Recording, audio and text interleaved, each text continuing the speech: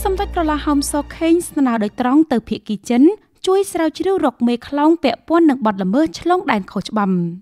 សម្ដេចក្រឡាហោមសខេងនាយករដ្ឋមន្ត្រីស្ដីទី បានស្នើភៀកគីចិន ជួយកម្ពុជាលើការងារស្រាវជ្រាវស៊ើបអង្កេតនិងបង្ក្រាបមេខ្លោងនៅក្នុងប្រទេសសាមីដែលពួកគេមានបណ្ដាញទំនាក់ទំនងប្រព្រឹត្តបទល្មើសឆ្លងដែនខុសច្បាប់ខណៈដែលកម្ពុជាកំពុងខិតខំស្រាវជ្រាវនិងបង្ក្រាបពួកអ ுக ្រិតជនទាំងនោះដែលមាននៅក្នុងប្រទេសផងដែរ ថ្លែងក្នុងជំនួបពិភាក្សាជាមួយអាដាមវ៉ាងវិនធានអគ្គរដ្ឋទូតសាធារណរដ្ឋប្រជាមានិតចិនប្រចាំកម្ពុជានាថ្ងៃទី27ខែកញ្ញាឆ្នាំ2022នៅវិមានរដ្ឋសភាសម្ដេចក្រឡាហោមសខេងបានលើកឡើងថាកម្ពុជាក៏ជាប្រទេសរងគ្រោះដោយសារការឆ្លៀតឱកាសកេងផលប្រយោជន៍ពីចំណុចខ្វះខាតមួយចំនួនពីសំណាក់ក្រុមទុច្ចរិតដើម្បីប្រព្រឹត្តបទល្មើសសម្ដេចក្រឡាហោមសខេងបានថ្លែងអំណរអគុណចំពោះកិច្ចសហប្រតិបត្តិការពិសេស ការផ្ដល់កិច្ចសហប្រតិបត្តិការឲ្យគ្នាទៅវិញទៅមកក្នុងការបង្ការនិងបង្ក្រាបបទល្មើសប្រភេទនេះនាពេលកន្លងមកយ៉ាងណាមិញនាពេលថ្មីថ្មីនេះកម្ពុជាក៏មានការរៀបចំកិច្ចប្រជុំថ្នាក់រដ្ឋមន្ត្រីទទួលបន្ទុកឧក្រិដ្ឋកម្មឆ្លងដែនក្នុងក្របខ័ណ្ឌអាស៊ាន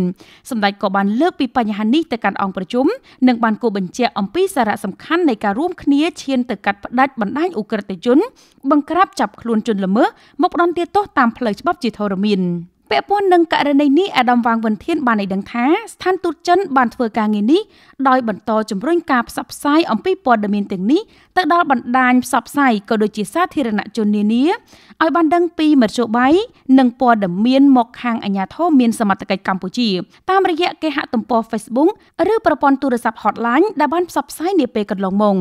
អាដាមក៏បានថ្លែងអំណរអគុណចំពោះការយកចិត្តទុកដាក់របស់អាជ្ញាធរកម្ពុជាដែលបានធ្វើកិច្ចអន្តរាគមន៍ជួយសង្គ្រោះពលរដ្ឋចិនរងគ្រោះក្នុងករណីកន្លងមក